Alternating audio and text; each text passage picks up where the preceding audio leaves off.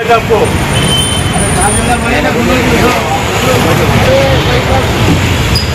आप बोल रहे हैं खोल के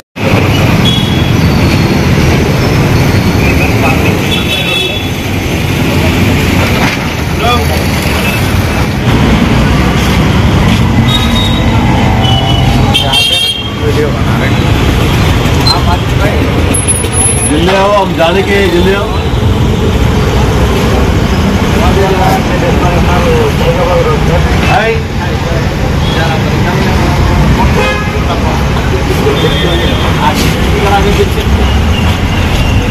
पान है सब पान है मैं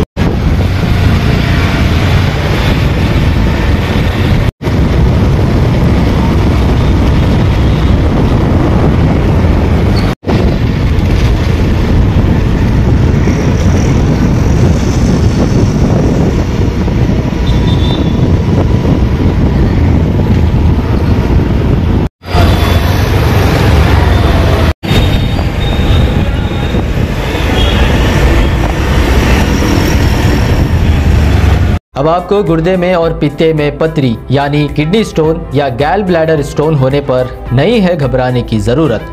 शहर हैदराबाद में सालों से इस इलाज के लिए ख़ानदानी सिलसिले से चला आ रहा है भरोसेमंद नाम, आर एस यूनानी फार्मेसी, जहाँ पर ख़ास तौर पर पित्ते में मौजूद पथरी और दोबारा पथरी ना होने का किया जाता है मुकम्मल इलाज। आपको इस दर्द से हमेशा के लिए मिल जाएगा छुटकारा।